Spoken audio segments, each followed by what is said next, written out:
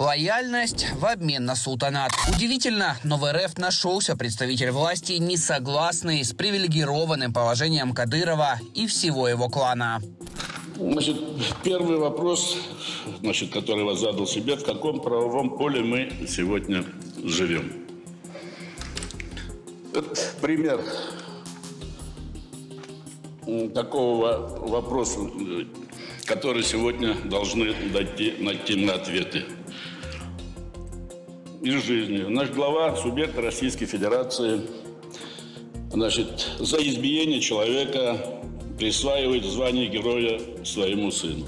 Помимо самого факта избиения беззащитного Никиты Журавеля в чеченском СИЗО, депутату Единороссу из парламента Татарстана Азату Хамаеву не понравились посты в телеграмме чеченского султана, прославляющие поступок его сына. Когда волк оказывается в ловушке, он думает не о том, как сбежать, он думает о том, как отомстить.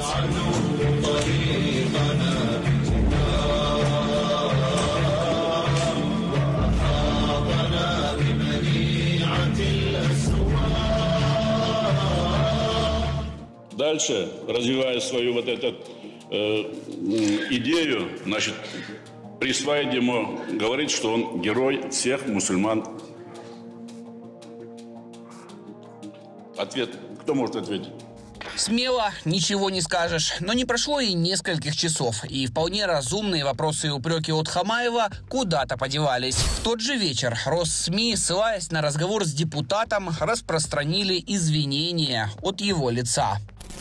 Выступая на заседании Госсовета Республики, высказал сугубо личное мнение, которое не было поддержано моими коллегами. Приношу свои извинения за свое эмоциональное высказывание, которое может навредить взаимоотношениям между братскими народами. Но одних извинений от рядового депутата Кадырову, по всей видимости, не хватило. Помимо Хамаева, перед султаном и его сыном извинился глава Республики Татарстан Рустам Миниханов.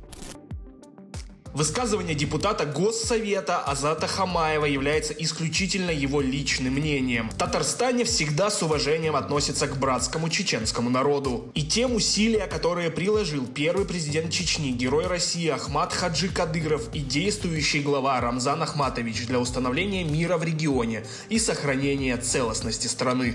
Интересно, что не столь давно, а именно до начала полномасштабной войны в Украине, вне пределов Чечни, руки Кадырова дотягивали дотягивались лишь до школьников с их родителями. Уважаемый Рамзан Ахматович, мы родня этого подростка, вполне осознав поступок нашего мальчика, приносим вам и вашему окружению наши извинения. Сейчас же перед чеченским султаном извиняются депутаты и главы целых регионов. Возросшая влиятельность Кадырова и неприкасаемость его окружения объясняется очень просто. Пока султан в ежовых рукавицах удерживает лояльность Чечни Кремлю, ему и его клану дозволено все, причем с недавних пор и за пределами их маленького королевства в королевстве. Пока русских под предлогом спасения русских отправляют на убой в Украину, привилегированные кадыровцы получают награды за публичные унижения и избиения русских в России.